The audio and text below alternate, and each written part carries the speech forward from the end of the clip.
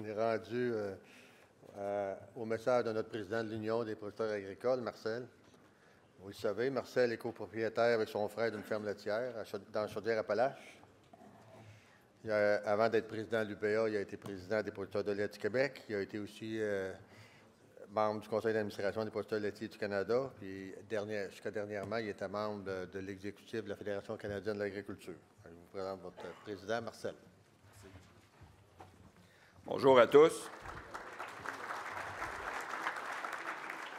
Alors, euh, je vais tenter de faire ça assez euh, succinctement. Je sais que vous êtes euh, à la fin de votre deuxième journée de rencontre, puis que tout le monde commence à penser à, retourner chez soi, puis autant que ça va prendre. Puis bon, alors on va essayer de procéder promptement. tout d'abord, ben, je voudrais, j'étais là quand vous avez souligné le départ de, de Maurice. alors, je voudrais juste également là, souligner mon appréciation que j'ai eue à travailler avec lui. Euh, je crois, il me disait qu'il avait commencé en 2000, je crois, à la, fédération. Donc, j'étais là et euh, j'ai toujours apprécié aussi beaucoup le travail de Maurice. Puis également, ben, Jean Vigneault, euh, ça va être difficile de remplacer Jean. Jean était quelqu'un avec qui on a collaboré lorsque j'étais président et même après, via le GO5. Puis, vraiment, Jean, je te remercie au nom de tous les producteurs, pas uniquement les producteurs de lait, mais les producteurs du Québec, parce que tu as toujours eu vraiment à cœur la cause des producteurs agricoles au Québec. Comme tu l'expliquais, c'est un peu dans tes gènes et ça circule dans tes veines. Alors, euh, on a eu une année assez exigeante euh, avec les négociations. Je parle de la dernière année, je ne parle pas de 2019, je parle des 12 derniers mois, avec la renégociation de l'ALENA, les conclusions de cet accord-là. Euh, toutes les manifestations, toutes les sorties euh, qu'on a faites, les nombreuses entrevues qu'ont données euh, votre président ou des membres de votre équipe, nous aussi à l'UPA. Mais je peux vous dire qu'il n'y a eu aucun effort qui a été ménagé pendant toute cette période-là pour essayer de minimiser les, conséquences ou les impacts que cette négociation-là pouvait avoir sur notre secteur. C'est sûr que quand M. Poisson disait ce matin, on partait, du, on partait avec, euh, dans cette négociation-là avec la demande des Américains qui souhaitaient l'abolition de la gestion de l'offre.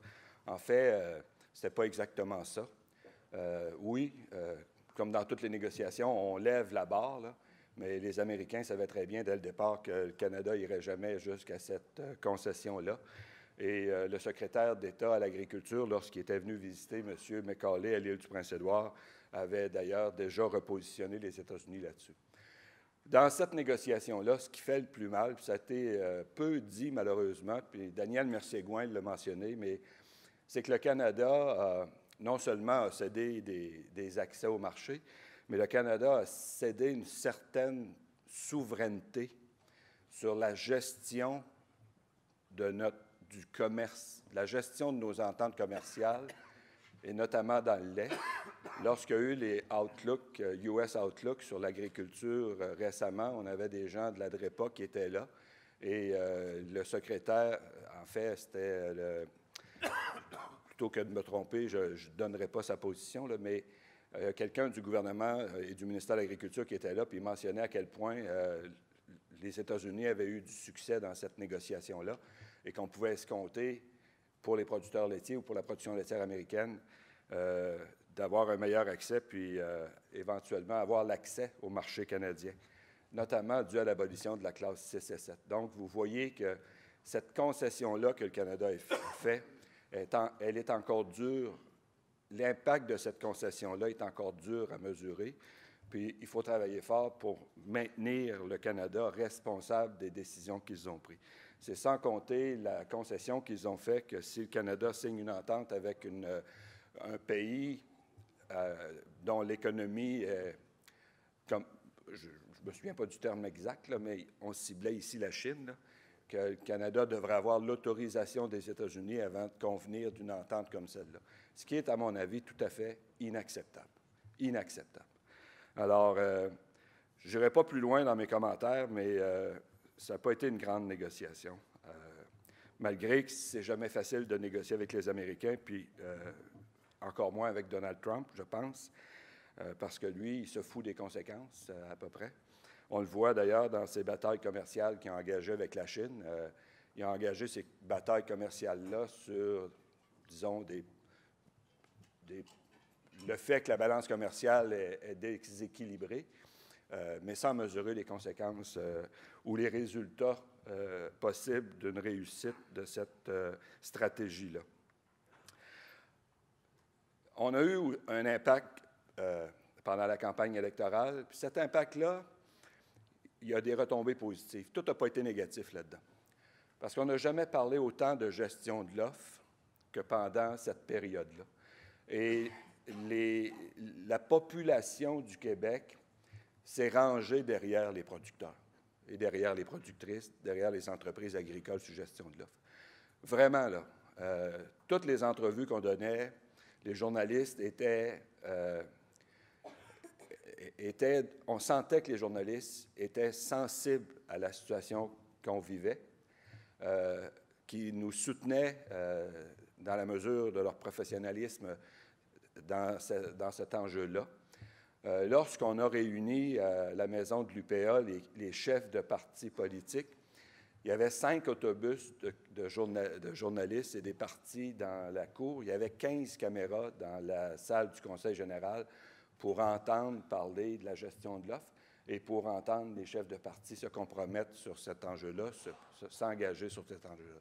Donc, c'est sûr que les circonstances nous étaient favorables, une campagne électorale avec ce que ça suscite, mais il reste que on n'aurait pas pu espérer plus de visibilité euh, qu'à ce moment-là. Je pense qu'on a utilisé, quand je dis on a tout utilisé, vraiment on l'a fait. On n'a rien négligé.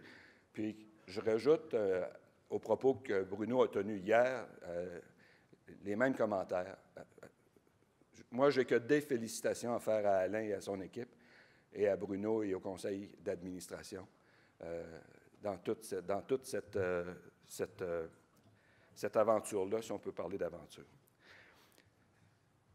On a aussi, concernant les ententes commerciales, je reviens sur le Mercosur et l'entente avec l'Union, euh, le Royaume-Uni. Moi, la semaine dernière, j'étais à la Fédération canadienne d'agriculture et on avait un compte-rendu euh, d'Agriculture Canada sur l'avancée de ces négociations-là. Et la, personne qui nous faisait le rapport, puis la question lui a été posée par le représentant du lait euh, autour de la table de la Fédération canadienne d'agriculture et de la volaille également. C'est la même réponse qu'on a eue lorsqu'on a entamé les négociations avec avec les États-Unis ou avec l'Europe. Tout est sur la table et les, les, les, enjeux sensibles, on va les négocier à la fin. On ne les aborde pas maintenant. Alors, s'il y a un point pendant la campagne électorale qui s'amorce, qu'il va falloir faire clarifier, mais vraiment clarifier, c'est la position du Canada dans cette négociation-là par rapport aux produits sous gestion de l'offre l'intérêt du Mercosur dans cette négociation-là. Le Mercosur, c'est le Brésil, l'Argentine, le Paraguay et l'Uruguay. C'est d'abord les marchés agricoles.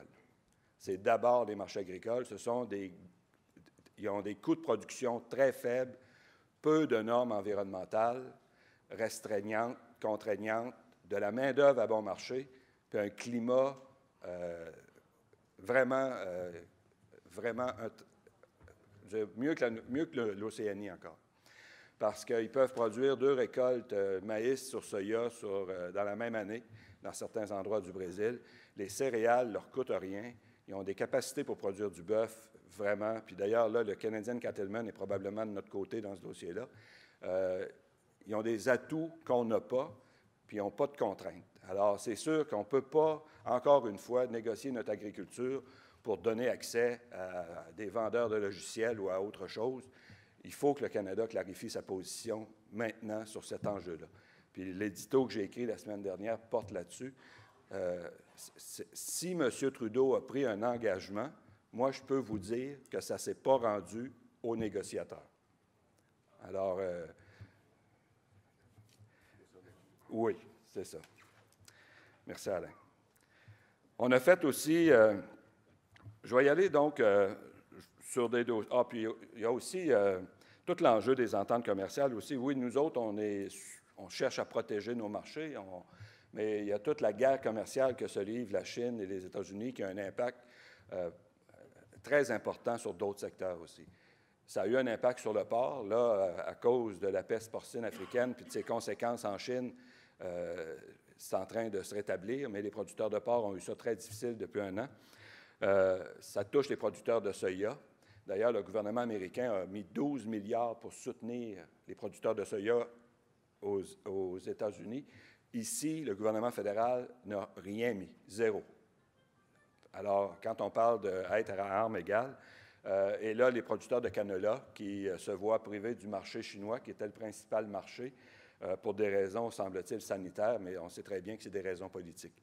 Encore une fois, le gouvernement fédéral n'a rien annoncé pour les producteurs de canola.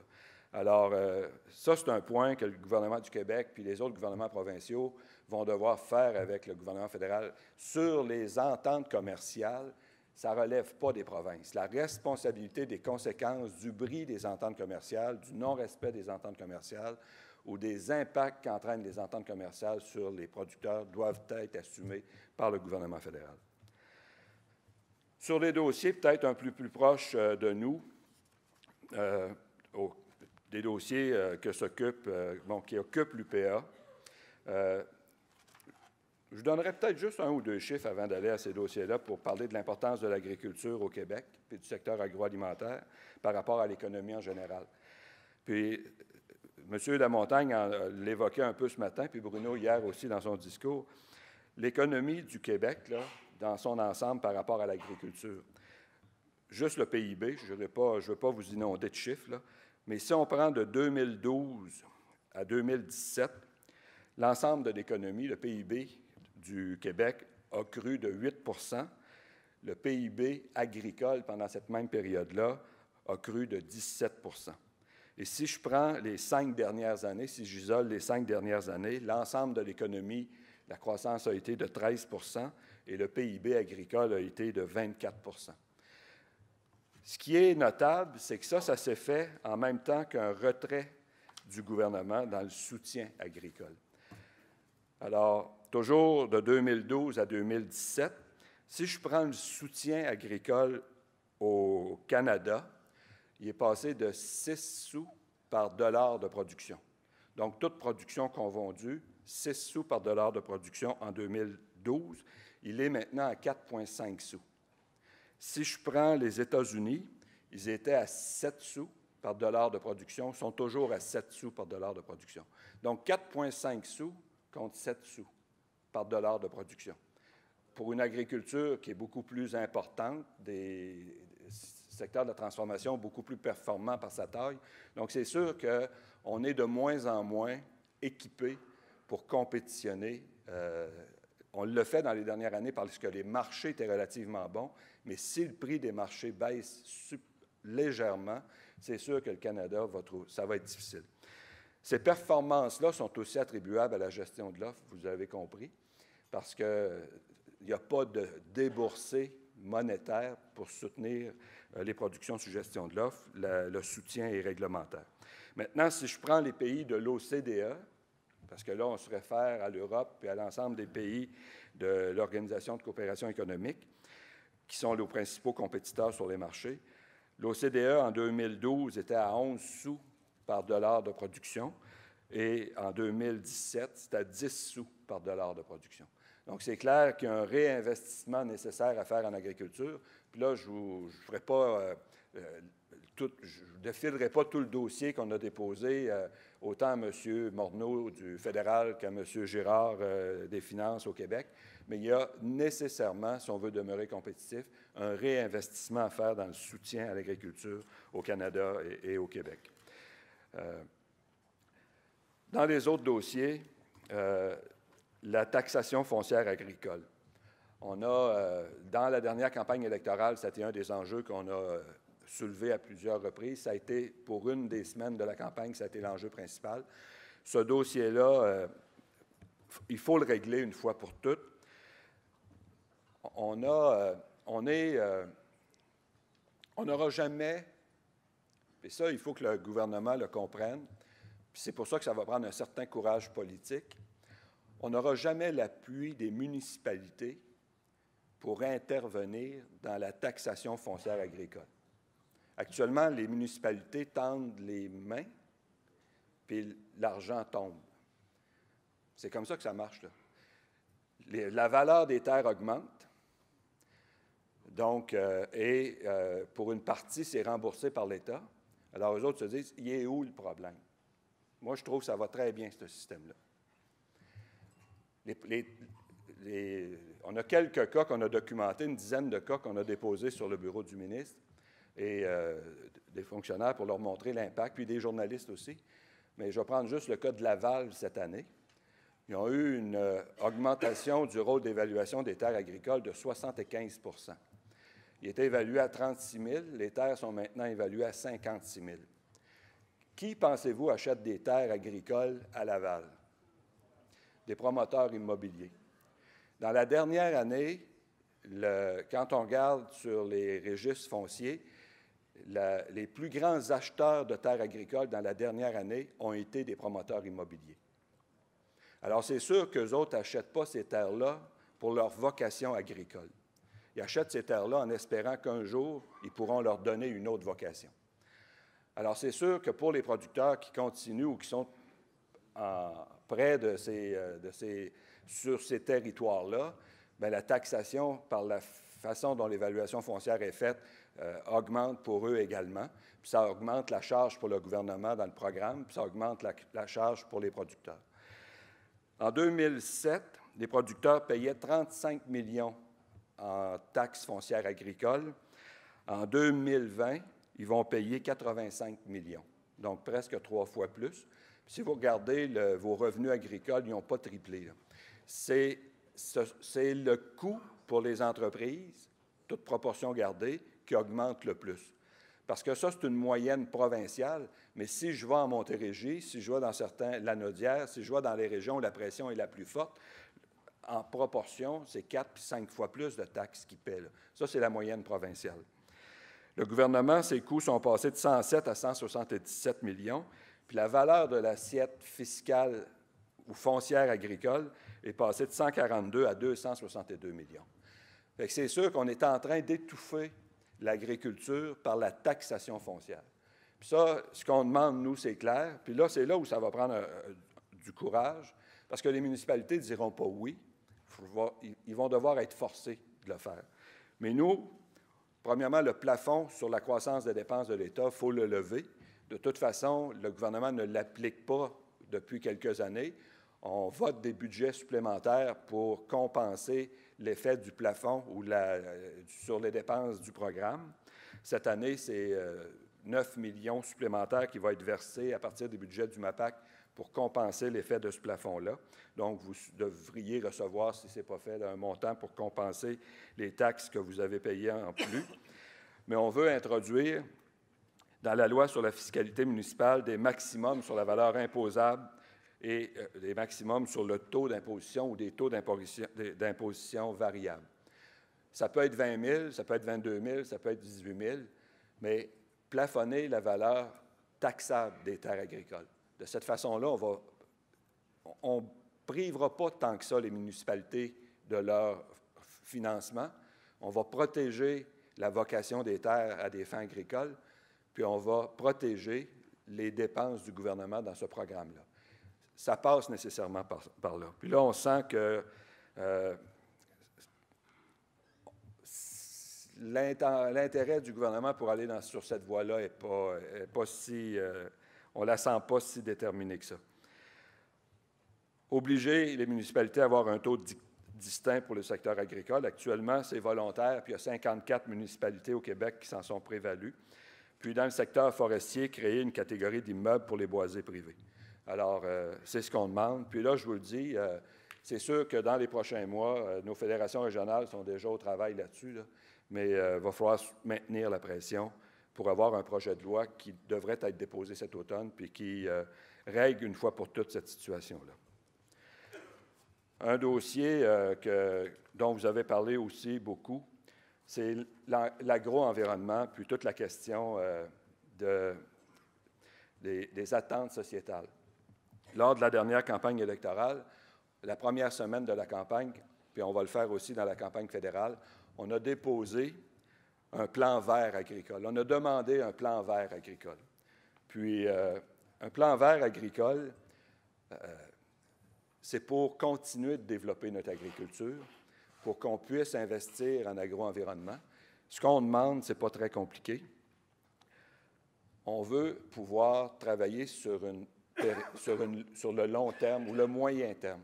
Actuellement, les budgets sont adoptés à chaque année. Prime vert est reconduit à chaque année selon les crédits que reçoit le ministère. Les programmes, selon les crédits reçus, peuvent varier.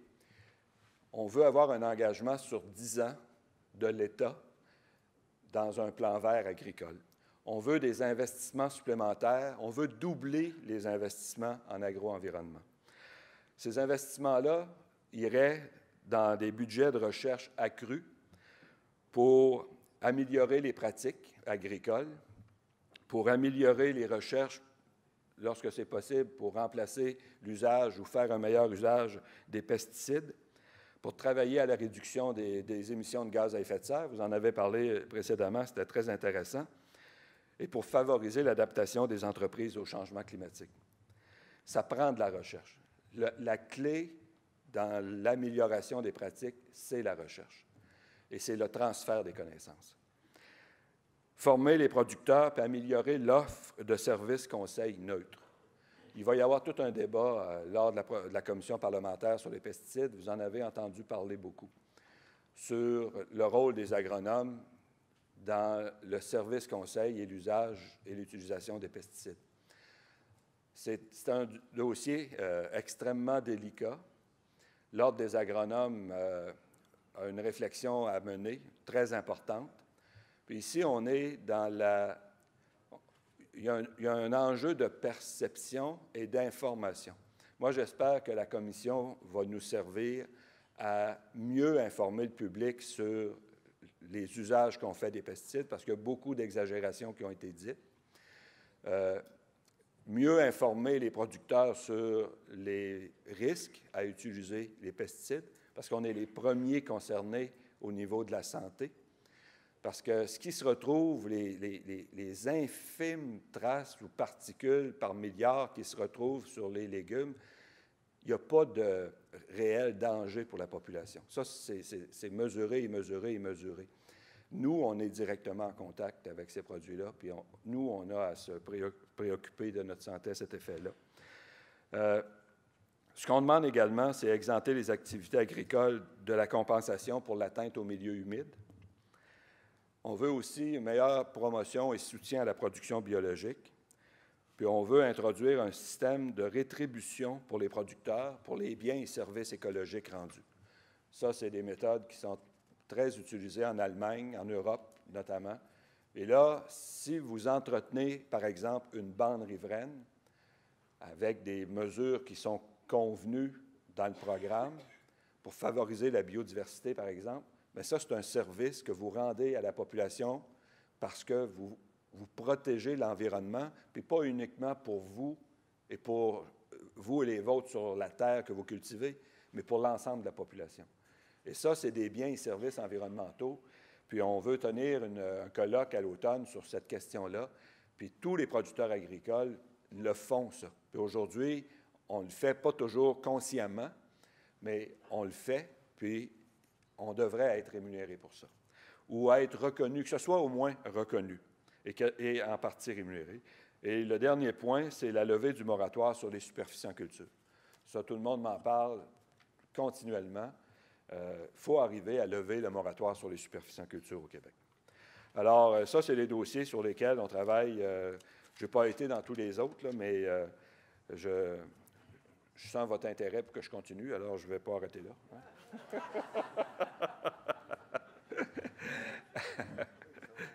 Ils s'en vont pas, c'est bon signe, c'est bon signe. Non, vous êtes très bon. Moi, j'en reviens pas, hein, parce que je. Puis on se le fait dire par des observateurs, les gens, puis parce que c'est vrai ici, c'est vrai, parce que être président du PA, c'est d'avoir la chance d'aller dans toutes les autres productions puis de voir comment ça se passe. Moi, j'ai appris énormément depuis que je suis, j'ai appris énormément sur l'agriculture depuis que je suis président de l'UPA. Avant, je connaissais ma production, puis je connaissais, mais vraiment, c'est incroyable le travail qui se fait dans tous les autres groupes, euh, que ce soit le porc, les pommes, les pommes de terre. Euh, c'est vraiment impressionnant. Puis ça, euh, souvent, on n'a pas l'occasion de le témoigner, mais je vous le dis. Ce qui se fait au Québec dans toutes les autres productions, c'est vraiment impressionnant. Puis c'est presque autant aussi bon que ce que vous faites. Là, vous répétez, vous répétez pas ça personne. Bon, c'est ça. je vais terminer on a fait, euh, on a fait l'automne dernier aussi une marche à Montréal. C'était garde-manger en danger. Parmi les activités qu'on a faites, que vous avez, euh, dont vous avez rapporté le travail, hier, Bruno, tu n'as pas mentionné celle-là. Mais ça a été quand même, c'est le début de quelque chose. Il, y il, y avait 5000 personnes dans les rues de Montréal. Il y avait des consommateurs, il y avait euh, des gens qui travaillent dans l'agroalimentaire on avait les commissions scolaires de Montréal, on avait regroupé plusieurs groupes à notre cause, garde-manger en danger. Puis moi, je pense que la force de nos groupes, ça va être de s'allier les consommateurs. Parce que si les producteurs agricoles et les consommateurs sont ensemble, le gouvernement, les gouvernements nos acheteurs, les distributeurs vont devoir travailler avec nous. C'est la clé, selon moi, pour rétablir un certain rapport de force, peut-être rétablir un certain partage des, revenus dans la filière, mais il faut travailler avec les consommateurs. Puis les consommateurs, ils n'ont jamais eu autant d'intérêt pour l'agriculture, la production agricole, sur la façon dont on le fait, puis pour l'approvisionnement local. Quand on a fait cette marche-là, on était, euh, on visait 2500, 3000 personnes, on était au moins 5000, puis il y en a qui ont dit qu'on était plus que ça quand on est arrivé à la place des spectacles. Puis il y en a plusieurs d'entre vous qui étaient là, qui, avaient, qui aviez voyagé cette journée-là. On demandait trois choses.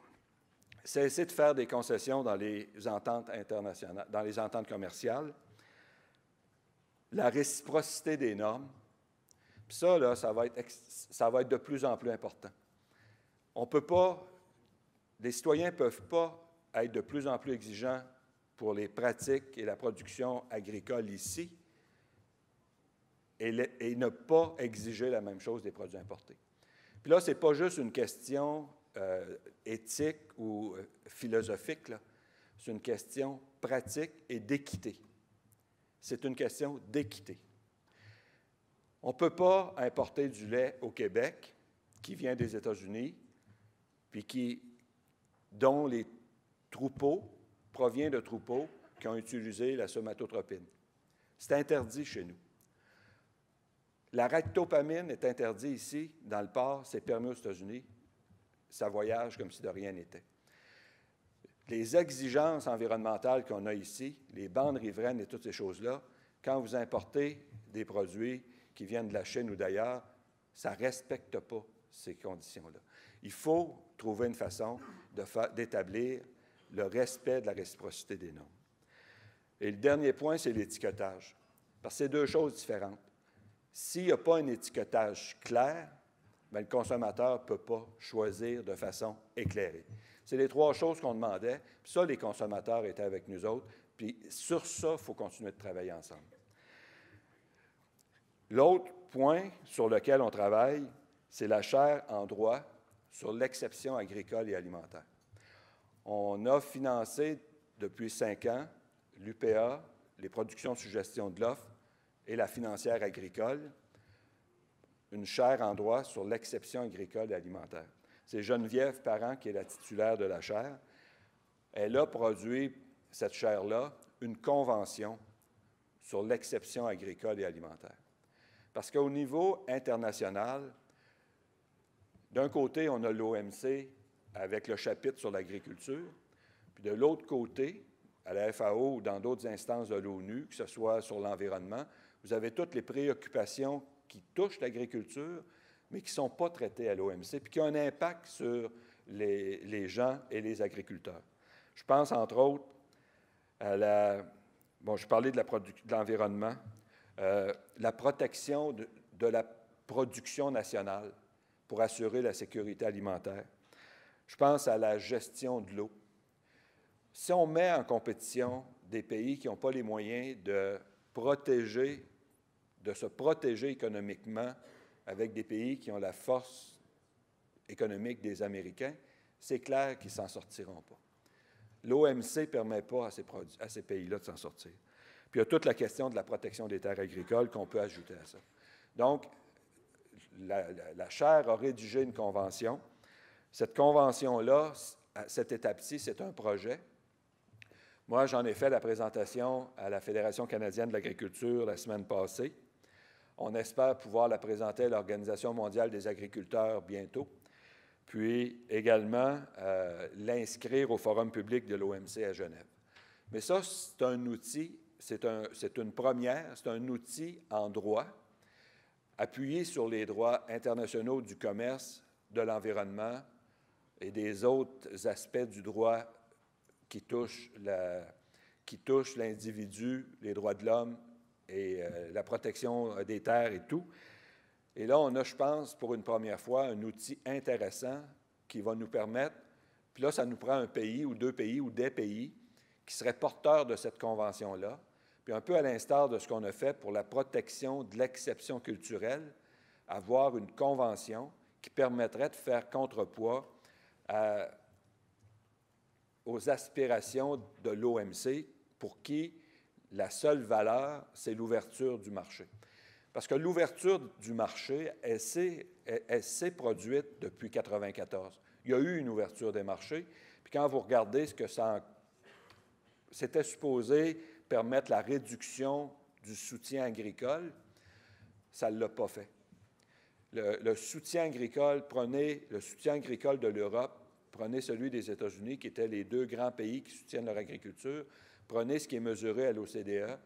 Euh, quand on compare le soutien agricole de ces années-là à aujourd'hui, en regard de l'augmentation de la production agricole, parce qu'il faut aussi le faire, le soutien agricole n'a pas réellement diminué.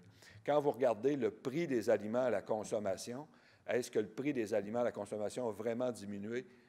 Pas vraiment non plus. Cette démonstration-là, je l'avais faite lors d'un forum sur les, euh, les 25, 20 ans, 25 ans de l'OMC. Euh, puis j'avais des chiffres à l'appui pour le démontrer devant ceux qui étaient avant moi les bénéfices de l'OMC. Puis moi, je suis arrivé avec ces chiffres-là et euh, personne n'avait été capable de, réagir à ça bon, euh, c'est pas encore arrivé. C'est ça qu'on m'a dit. Ça va arriver, c'est parce qu'on n'a pas encore assez libéré. Fait que c'est sûr qu'il y a un travail énorme à faire, puis ça prend des groupes organisés comme le vôtre, comme l'Union, pour porter des dossiers comme ça, puis essayer de faire changer les choses au niveau international. Alors, euh, je m'arrête là-dessus. Je remercie la Fédération des producteurs de lait, qui est un leader parmi les groupes GO5, puis qui a accompagné euh, euh, ce travail-là de la chaire sur l'exception agricole et alimentaire. Alors, il faut poursuivre ce travail-là.